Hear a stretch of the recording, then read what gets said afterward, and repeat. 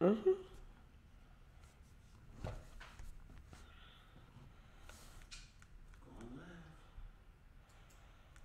Okay.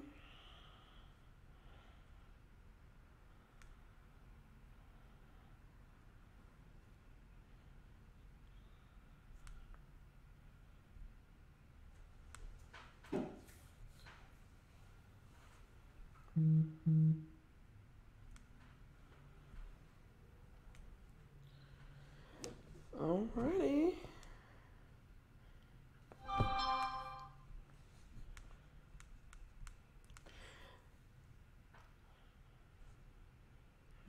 All right, here we go.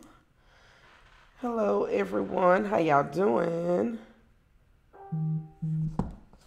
Welcome to Sex Talk with Sharonda. How y'all doing today? Let's see here. We have a lot of great things we're going to be talking about today. I hope everyone had a wonderful Valentine's Day weekend. We were super, super, super busy. I met so many of you all this weekend. It was awesome. Did so many strawberries. We sold out. Awesome. Um, so I just want to make sure that y'all have y'all calendars because I will be doing Dukes and Boots on the 28th of this month. This is not my event, but I will be at the event hosting the event, and it is an event that is open to the public. So make sure you get with Tamika AO and get your tickets for that. We also have the tickets on sale on my website for March Madness, www.theppgstore.com. So make sure you get your March Madness tickets. A lot of y'all been signing up for the Ride 'em Girl class. I look forward. I'll be teaching that class. Um, and this is National Condom Month, so of course I cannot let February end without talking about condoms. And of course we will be we will be preparing for steak and blowjob day as well. So I'm just giving y'all a chance to actually log on while I was getting that introduction done. If you have not subscribed to my YouTube, you need to do that. If you have not um registered for my website, you need to do that as well. All right. So we gonna get started. So a lot of great things went on this weekend. Um, in Philly, there was a condom fashion show. This was the third annual one that they done. And I saw someone posted a picture of the ladies wearing the condom dresses. And I think because sometimes people don't necessarily know what's going on, people be like, okay, well, what's going on? Well, why they wearing the dresses? Well, what happens is you have the uh, companies that make the condoms, they sponsor the event and they allow you to take the condoms and actually make fashions. You can create fashion with the condoms, which opens up the conversation about safe sex and preventative measures to keep down on STDs, unwanted pregnancies, and all of this kind of stuff. So it's basically a way to open up the dialogue for that type of conversation. Um, and the great thing is actually started by um, a, a young black uh, lady um, on Instagram. Her handle is Prevention Meets Fashion. She's like a social worker or whatever in Philly, but really, really, really great story that she has. So if y'all on Instagram, make sure y'all go check that out. Um, so let's talk about condoms, okay? First of all, all condoms are not created equal. We have flavor condoms, then we have your standard, well, this is actually your extra large condom, and then you have your magnum condom. So let's talk because a lot of times when people come into the store, they just assume that because it's a magnum condom, that the condom is a larger condom. That's not correct information. This magnum condom is the same size as any other standard condom. Okay? When you want a larger condom, you got to get a Magnum XL condom. Okay. Now, Lifestyle has actually came out with their large condom called King. Okay. So let's talk about the difference between the two. It don't matter what brand of condom that you get. Okay. When it comes to the circumference, they're all the same size. They're going to all stretch the same size. What makes a condom an extra large condom is the length that it will stretch, okay? If you are a 7.5 or smaller, you can wear an extra large condom, meaning that it will cover your complete shaft from top to bottom if you are 7.5 inches or smaller. If your penis, the length of it is beyond 7.5, that's where you need to go up to the XL condom because at that point it will stretch out to like 11 for 11 inches. Okay. Now, there are some companies that make specialized condoms because you do have some men that stretch beyond 11 inches, but they are, is very few that, that goes beyond 11 inches in length. Okay. So with that being said, when you're talking to your sons about condoms, the first thing your son really got to do is measure how long his dick is in order for y'all to get an accurate reading on the condom. And a lot of times men don't they don't measure their dick. They just don't. They not like us. They don't like we get mirrors and all kind of shit. We open our legs up. We looking all in the inside because we want to see what it look like. Men just piss fucking go. They don't have, you know, measurements. So when you want to talk to your son about accurate information as far as selecting the right size condom, the first thing you got to tell him is, look, I ain't about to measure your dick, but you're going to have to measure your dick so we can make sure we give you the right size condom. When you got an erect penis, measure it. All I need to know is if it's 7.5 or less, then this is the condom we going with. If it's beyond 7.5, then this is the one we're going with. Because what happens is a lot of moms do this. A lot of moms come into my store. We give away free condoms because we consider it a safe location. I say, oh, get many condoms as you want. So they be like, oh, well, I'm gonna get some and I'm just gonna stick them in this drawer or give them to him. But what happened if you not giving him the right size condom, mama? What happened? You giving him a condom, but what happened if he not covering his whole shaft up? Are you really protecting him? No, you're not. Because he can still get the little heebie-jeebies on the, another little part that you ain't been covered up. And the thing is, he don't know and he just like, well, she gave me the condom. Boys don't know that it's different sizes, okay? So this is some good information. I want you to make sure you sharing it, and you you need to really have dialogue with your um with your sons to make sure that they have the act you know the the correct size condom. Let's see. I'm just making sure I don't have any questions in the process. Okay, so let's talk about types of condoms. Okay, we have some condoms that are lubricated. We have some condoms that are not lubricated. We have some condoms that have spermicide on them. But the thing is, a lot of times the guy doesn't necessarily know if the girl has an allergy to all of this different stuff. So, ladies, a lot of times you don't know that you have a latex allergy up until you start having sex with a latex condom. If you're having sex with a latex condom and you're experiencing any type of dryness or burning or feel like you're getting swollen, that's an indication that you have a latex allergy. And that means not only can you not use latex condoms, but you cannot use toys that are made of latex material. You can't use anything latex because it's going to irritate you. So if you notice that every time I have sex and we use a condom, I'm just all toe up down there, is because you got a latex allergy. And these are the things that we don't know up until we have sex. And that, that's, you know, we don't know that we have a latex allergy up until we start experiencing the allergy. What you need is a lambskin condom, okay?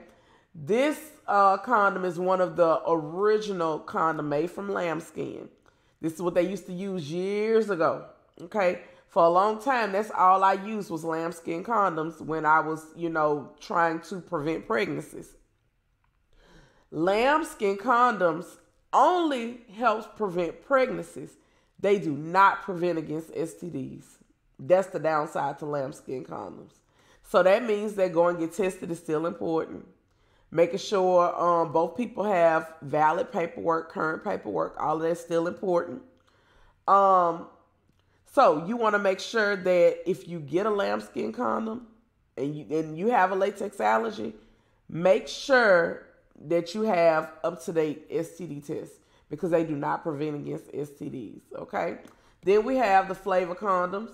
They come in all different flavors: bubble gum. This one is fresh mint, strawberry, all kind. This is strictly for oral sex because sometimes when you're meeting people, you want to have a certain type of sexual experience, right? Okay.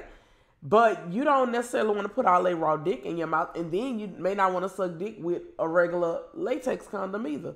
So you want to get a flavored condom, right? And we're addressing this because it is National Condom Month. All right.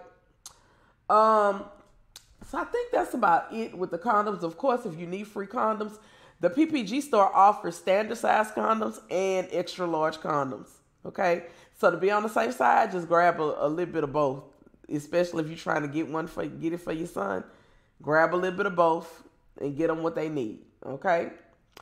Um, I had a few people that was disappointed this weekend for Valentine's Day. I saw one lady said that the man got her all this stuff from the Dollar Tree and put it in a basket. She thought he was trying to get her the coronavirus. Y'all, I could not stop laughing. The woman said he trying to give me corona with all this Dollar Tree stuff. Then I just read where another lady set up for the whole weekend and her her Casanova ain't show up. Things happen, okay? Things happen. And what we have to understand is, you know, if somebody gave you a gift that you didn't like, address it. Let them know, like, I have standards and you can't just bring me no anything. Because when I do something for you, I'm to make sure it's nice. I'm not to bring you no anything, okay?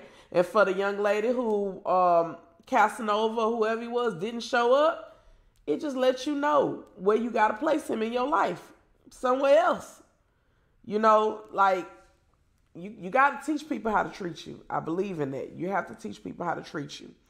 Now, if you look up here, we got the blowjob surprise bag. Now, it ain't much a surprise bag no more, huh? Because y'all insisted that I showed you what was inside the bag. Well, these are the bags, and I'm actually gonna I'm gonna add a fruit roll up in each one of my bags. So that means if you go somewhere else and buy a bag, first of all, your bag not gonna come with a bill. But if you get a bag, uh, if you get a bag from the PPG store, it's gonna come with a bill. If you go anywhere else, that bag ain't coming with no bill. My bag is also gonna come with a fruit roll up because I believe that you're supposed to be given the ultimate blowjob experience for steak and blowjob day.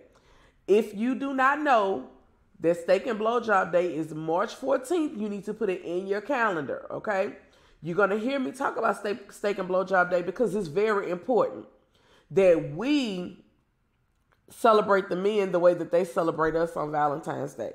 Now, a lot of times what happens is a lot of women they go all out for Valentine's Day. We had we had way more women coming in, and then they feel like, well, when he gonna get a chance to do something for me? That was his chance to do something for you for Valentine's Day. This is day right here, March 14th. Valentine's Day is a celebration of love on, on for both people, if you ask me. It's just a way that you celebrate love, okay? Um, but this is something special for him. Um, this holiday falls exactly one month after Valentine's Day every year. March 14th is Steak and Blowjob Day. Um, go online, go on YouTube, look up some recipes on how to prepare steak. Contact your local steakhouse, order steak, do whatever you got to do to get the steak there. Some women say, "Well, my my man don't eat steak." Well, bitch, get him a lobster, get him some salmon, get him a pork chop. I don't care. Get him something that he like. Okay. So again, mark your calendars. March 14th, steak and blowjob day. Then moving at the end of March, we have March Madness. You about to hear me talk about March Madness a whole, whole, whole, whole lot. I'm looking forward to it. Yes, it will be in Baton Rouge this year. Yes, it is at a private location. All you have to do is go to the website and put your order in. In other words, get your ticket online. Yes, there will be table seating. It's gonna be a good time. If you ain't never been to March Madness, ask somebody. Okay. Again, if you have not registered for my website, go online and register www.theppgstore.com. Um, this video will go up on YouTube. So if you too shame to talk to your little boy about the proper way to use, you know, measure for condoms and stuff, Say, baby, watch this video so you can understand what you need to do when it come down to uh, measuring yourself for a condom. And another thing we want to stress to our sons and daughters is please use lubricant every time you have sex. Get out this myth that you get wet enough. Get out this myth that something is wrong if you're not getting wet enough. You should be using lubricant every time you have sex because lubricant provides a barrier. It basically protects the skin. It keeps you from chafing. It keeps you from getting irritated. It keeps the vagina from tearing. It's so many benefits to using lubricant. So get out that foolishness talking about I get wet enough. Yes, your body does get moist, but you still need a good lubricant while you're having sex, okay? So we want to make sure that we're teaching all of this great information to our children as well. All right. And the last thing I'm gonna talk about. So a question came about, and I was asked, how do you feel about your teenagers having sex in your home so that you know that they are having sex in a safe space? Okay. So I was reading from the point of view of one of the mothers, and she said that she would much rather her son have sex at home because she does not want her child life put in danger because um he's having sex with somebody's daughter and their dad comes home and tries to harm her child for partaking in um something consensual with another young lady that's, you know, his age or whatever. And I was like, you know what? I never really thought about it like that. Um, I was listening uh, to some talk radio, and it was the parents that were basically saying that they give their uh, kids permission to have sex in the home. Now, keep in mind, you know, we down south. A lot of times when we listen to talk radio, these people be from everywhere else. A lot of more progressive parts of the country, a lot of forward thinking. And it just really made me think. Um, I saw a lot of y'all comment that, you know, the young adults are gonna do it anyway, um, and all of this kind of stuff. And I'm gonna just say it like this here. I I can't ever see myself being comfortable with granting my children permission to have sex in my home. I just don't. And I just feel like you got to do the shit that I did like we had to go get motel rooms and shit. We even was going to get the crackhead motel rooms, the two for twenty, two two hours for twenty dollars, however this shit was back then. And you know, like we made a way to do the shit that we wanted to do. But I don't ever see myself just being so liberal to say that you could come and lay up in here and fuck just like me. I don't. Um, because I I paid a cost to run my household the way I run my household. And I just really feel like, and this is just my opinion because I was asked for my opinion about the topic.